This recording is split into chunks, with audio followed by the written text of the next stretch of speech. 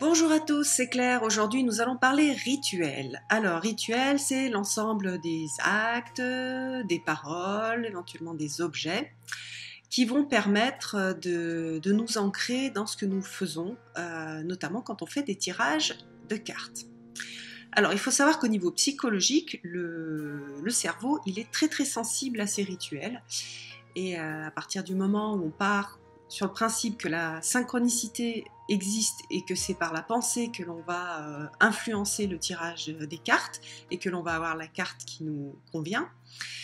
Euh, donc c'est très important de préparer quelque part son cerveau et de se mettre en condition pour faire un tirage de cartes. Donc c'est pas euh, aussi mystique que ça en a l'air, c'est plus quelque chose de très psychologique.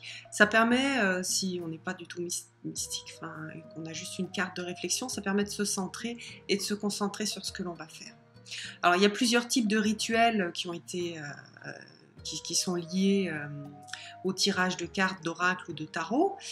par exemple, il y a pas mal de personnes qui utilisent un tapis pour tirer les cartes. Ils vont mettre un tapis sur euh, la table. Alors, euh, moi, je conseille le tapis pour des raisons très pragmatiques, c'est-à-dire comme ça, vous êtes sûr de pas, euh, si jamais il reste quelque chose sur la table et que ça colle ou je sais pas, vous êtes sûr de pas abîmer vos cartes. Aussi, vous ne les, frottez pas contre une table peut-être un peu rugueuse. certaines personnes pensent que ça isole les cartes des énergies terrestres. voilà. Après, euh, il faut que ça ait un sens pour vous. C'est-à-dire, moi, le fait d'isoler les cartes des énergies terrestres, euh, ça ne me parle pas. Alors, ce que, ce que vous pouvez utiliser, soit vous vous faites avec du tissu, un tapis avec du, satin, soit vous pouvez utiliser un, foulard euh, qui vous plaît ou un morceau de tissu. Donc après ça, c'est vous, qui, vous qui allez choisir. Il y a aussi des tapis qui se vendent sur dans les magasins, des, tapis spéciaux pour euh, tirer les cartes, qui sont aussi pas mal. Euh, il y a euh, Ciro Marchetti qui fait des, choses merveilleuses, mais qui sont assez chères. Donc moi j'en ai pas. Moi ce que j'ai, demandé à une copine de m'en faire un, voilà, qui est recto verso, qui, est un peu grand, comme ça ça couvre toute la table, parce que je fais parfois des tirages avec beaucoup de cartes.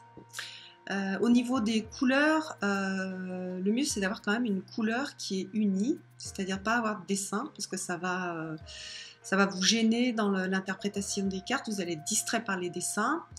je trouve que le noir c'est vraiment bien, parce que ça met en valeur les cartes et c'est neutre.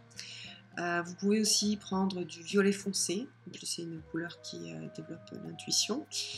voilà.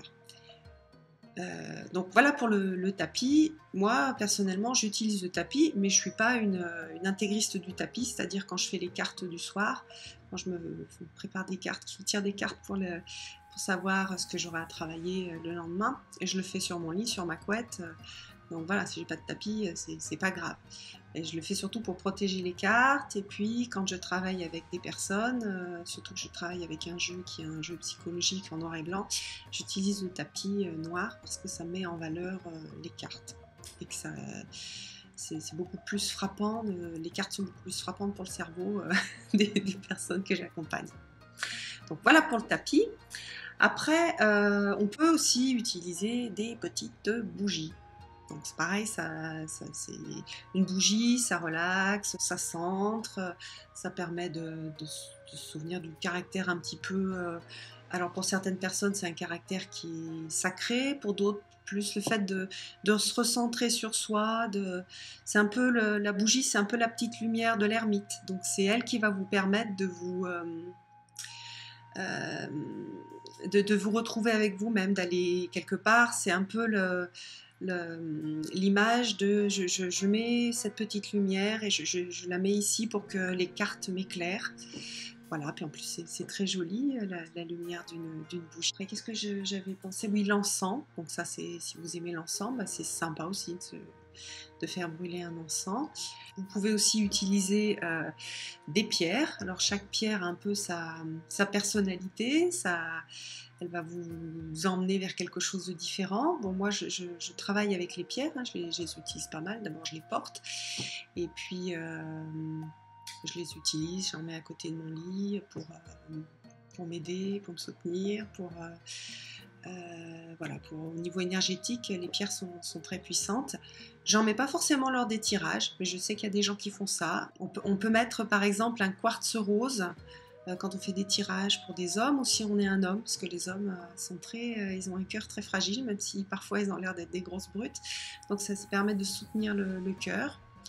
Pour des femmes aussi, des femmes sensibles on peut le faire, mais bon voilà, pour un homme, un, quartz rose c'est toujours bien. Pour une femme, on peut mettre une plus une, pierre féminine d'ancrage, ou alors on peut mettre une pierre un peu plus magique comme une labradorite ou une, une pierre de lune.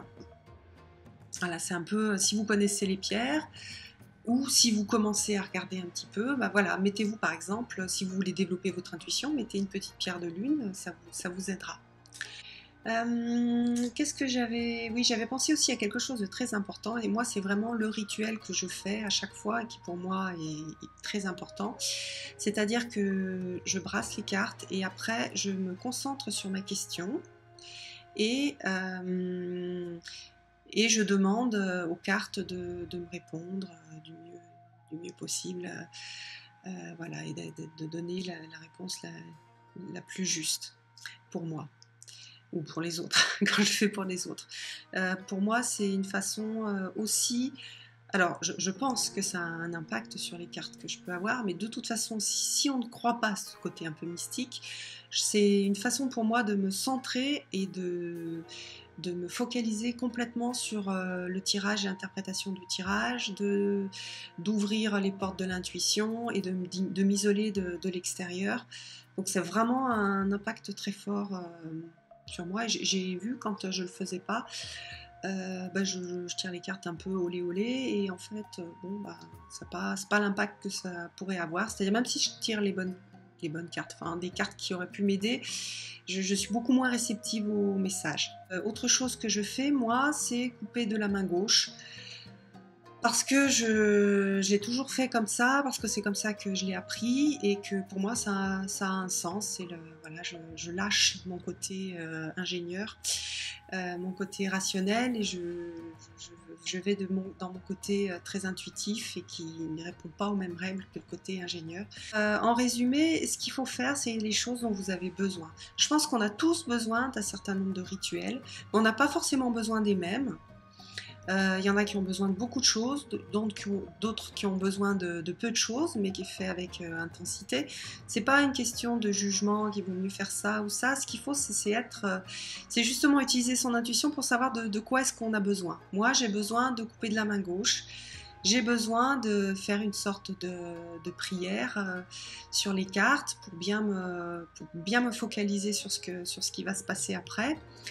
Donc ça, c'est très important pour moi, c'est la chose dont je ne peux pas me passer. Je vais utiliser un tapis parce que j'ai envie de protéger mes cartes, j'ai envie de les garder longtemps, je n'ai pas envie euh, qu'elles soient attachées ou qu'elles soient abîmées. Donc je vais utiliser un tapis quand c'est sur une, sur une table. Euh, voilà, après si j'ai besoin, que je sens que j'ai besoin de lumière pour faire ce tirage, je vais allumer une bougie, mais je ne le fais pas systématiquement. Et parfois, je peux associer une pierre, sachant que les pierres, j'ai plutôt tendance à les porter sur moi et à les avoir euh, à côté de, sur ma table de chevet, à côté de mon lit.